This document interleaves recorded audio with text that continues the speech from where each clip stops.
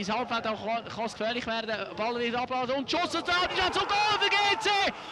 Goal für GC, der Andi Witwer.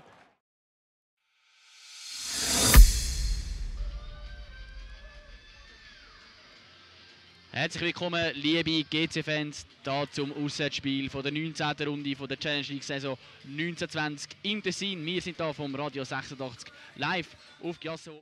Dort schlägt der Ball auf den ersten Pfosten, dort kommt Giasso-Spieler dazwischen. Schuss aus dem Hinterhalt vom Oli Puff ist aber abgelockt worden. Haarscharf da, gute Möglichkeit bereits GC in der Anfangsphase. 21 dabei ist hebt wegen die Hand, Flanke kommt in die Mitte, gute Flanke auf der weiten Pfosten. Jani schickt und der geht ganz knapp daneben.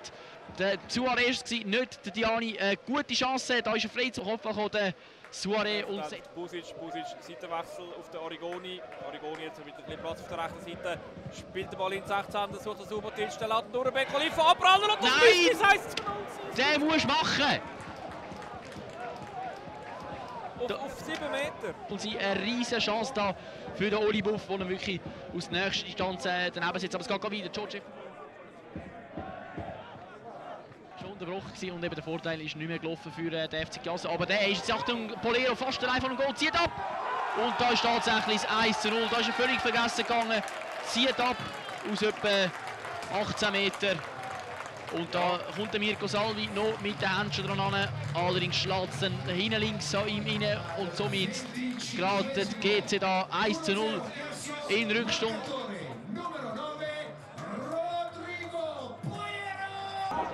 Verteidigung, die Flanke dann noch in Mitte, jetzt da Powerplay fast für Giasso. Ein guter Kopfball. Der zieht einmal in die Mitte, ja. Und dann versucht er zu flanken, schießt aber der Piccinia, kommt aber trotzdem am Böllen. Gute Aktion da von ihm. Zieht langsam Richtung Eckfahne, dann Flanke schön ins, ins Halbfeld, auch kann, es gefährlich werden. Ball wird abgeladen und Schuss und ist zum Goal für GC!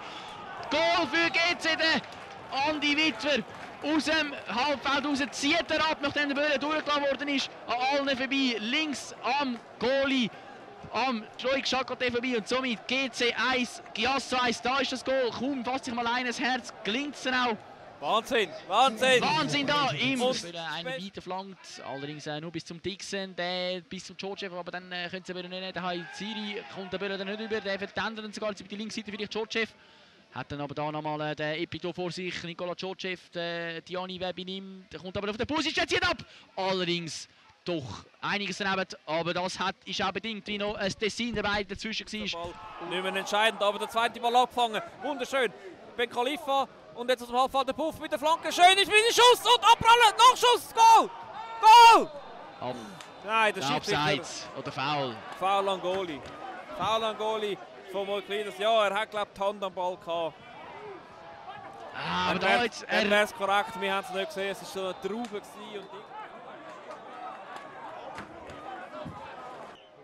Nein, der Schiedsrichter pfeift ab.